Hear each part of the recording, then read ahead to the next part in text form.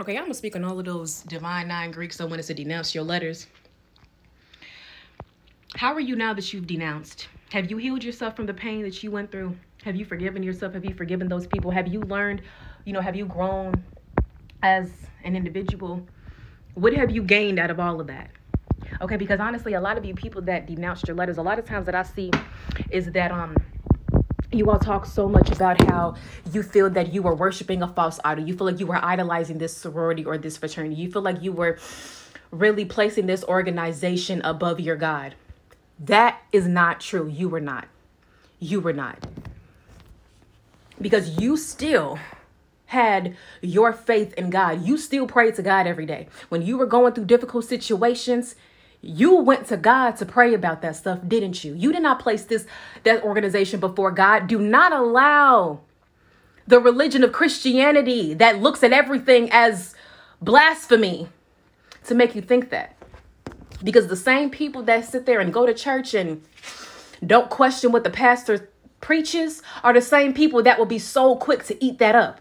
It's just like the same thing about how you hear a pastor talk about how homosexuality is a sin and it's an abomination, and you automatically believe that without using your own proper discernment. It's the same same type of people that will allow that to happen. It's because you all don't have a mind of your own. You all can't think clearly for yourself. You have to allow, you have to have another person, another authority figure, a pastor, a preacher, somebody else to think for you because you cannot think for yourself because you don't want to self-reflect.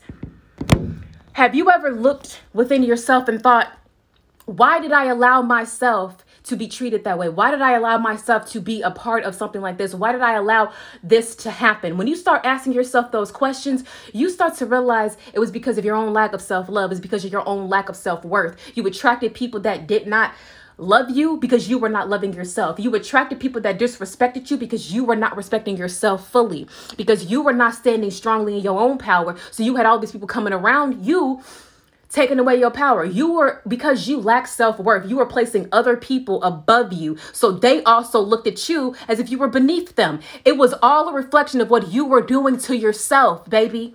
It ain't got nothing to do with you idolizing. See, that's the thing. Y'all want to look externally at everything else, y'all Christians, but y'all don't never want to look within. Y'all think y'all holier than thou, and y'all walk around, y'all go to church once once a week, but then y'all don't do no type of self-reflection of looking within.